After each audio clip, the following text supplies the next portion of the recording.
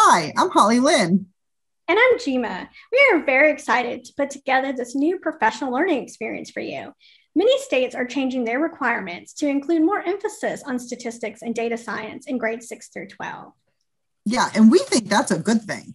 But we also know that teaching statistics and data skills can seem daunting and maybe a bit uncomfortable, especially if you've not spent much time engaging in statistics and data science as a learner yourself.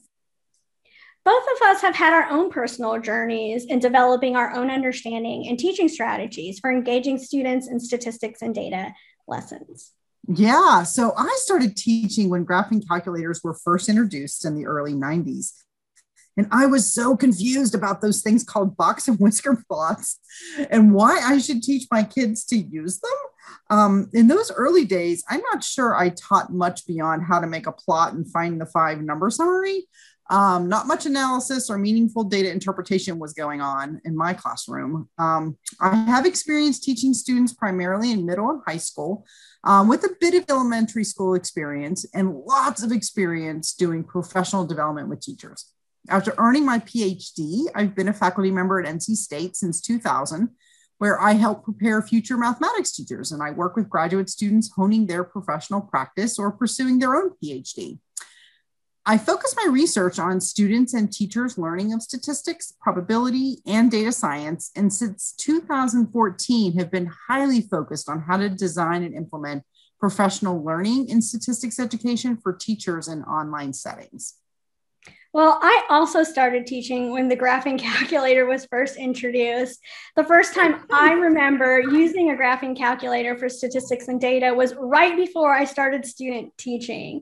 And the focus at the time was very similar, where I remember entering lots of strings of small data into lists and then graphing that mm-hmm. data as box plots, or sometimes we would look at two variables and find a least squares regression line. Um, but like you said, the focus was really on finding an equation and not making sense or understanding the relationship between the variables and interpreting graphs and statistical measures with relation to any type of context.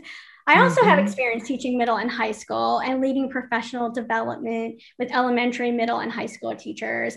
Currently, I'm a research scholar at the Friday Institute for Educational Innovation at NC State, where I also focus on statistics education. And in particular, I'm really interested in supporting the professional learning of practicing teachers to teach statistics and data science and preparing prospective teachers um, that are mathematics teachers to teach statistics.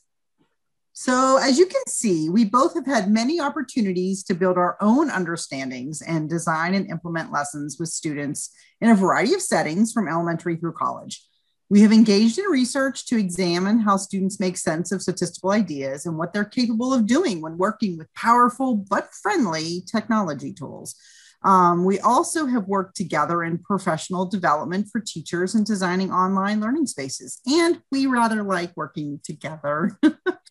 so from 2015 to 2019, we were both involved in designing and offering two prior MOOCs on teaching statistics.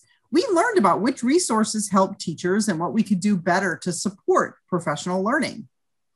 And in 2020, the world changed a lot. And we saw how critical it was to teach our students mm-hmm. to have very strong data literacy skills and to prepare them for careers of tomorrow that will be increasingly dependent on data and statistics. Yeah, and also in 2020, the American Statistical Association published their revised guidelines for assessment and instruction in statistics education. And the National Council of Teachers of Mathematics is further challenging us to catalyze changes in mathematics curriculum and instruction to make math more relevant and meaningful to students. So that's why we've put together this experience for you. We think these materials will help you plan how to best amplify statistics and data science in your classroom. We hope you dive in and have fun learning.